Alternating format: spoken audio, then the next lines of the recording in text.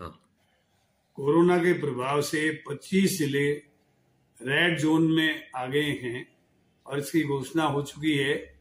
इन सब परिस्थितियों को ध्यान में रखते हुए राजस्थान में सीनियर सेकेंडरी स्कूल की बारहवीं कक्षा की परीक्षाएँ जो प्रायोगिक परीक्षाओं के रूप में होने वाली थी, वो सत्रह जनवरी से शुरू होने वाली थी, उसको अगले आदेश तक स्थगित किया जाता है। फरवरी में कोविड की स्थिति को ध्यान में रखते हुए पुनः इसकी समीक्षा की जाएगी और आगामी तारीख में घोषित की जाएगी।